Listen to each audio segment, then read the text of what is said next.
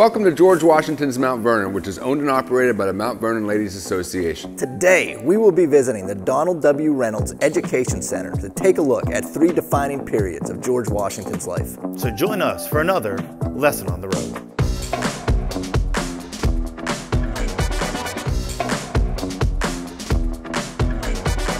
So we don't have an exact idea of exactly what Washington looked like. There are no cameras during his lifetime to take a picture of him. And so for years we had to go off of sculptures and portraits of his likeness. But from 2003 to 2005, a team of forensic scientists, historians, and artists came together to try to recreate what Washington would have looked like at ages 19, 45, and 57. Basically, as a young man, the general, and as president.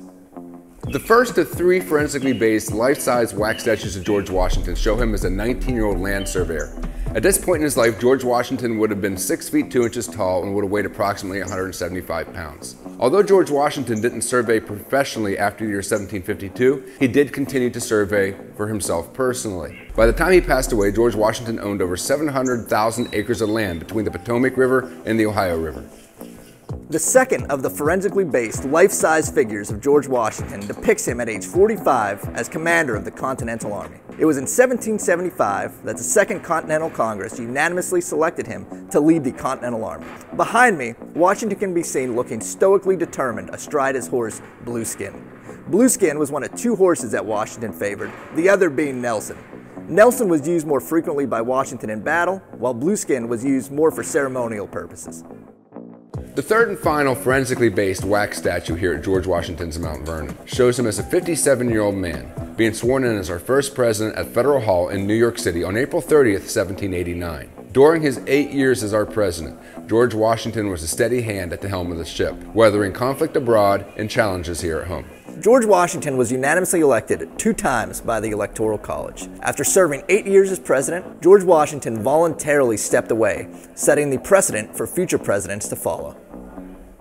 So thank you for joining us for another lesson on the road. Next time you're in Northern Virginia and you're looking for something to do that's historical, A bit scientific. And just all around nerdy. come check out George Washington's Mount Vernon and everything that has to offer. That's Mr. Graham. That's Mr. Gimbi. That's Mr. Raymond. We'll catch you next time. Gentlemen.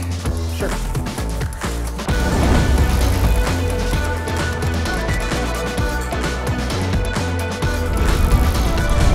So next time you're in Northern Virginia and you're looking for something historical, What does that mean? wait, that's you. That's your line. You met one line in this part and you messed it up. Wait. To try, try to recreate what Washington would have looked like at ages 19, I forgot the, the years, the years, 1945 and 57. The first of three forensically based life lives. The first of three forensically based lifelike statues of George Washington shows him as a 19 year old land surveyor. Yeah. Something nerdy, something scientific. Something historical, a bit scientific, and all around nerdy. Oh, it was me. I messed it up. I thought I said a history. Well, I messed it up too. I wouldn't have got Okay. that. Yeah, yeah. I keep wanting to say like bluegill, like the fish. you know? Behind me, Washington can see. Behind me, Washington can be seen. Oh man, why is that so tough? They are tough.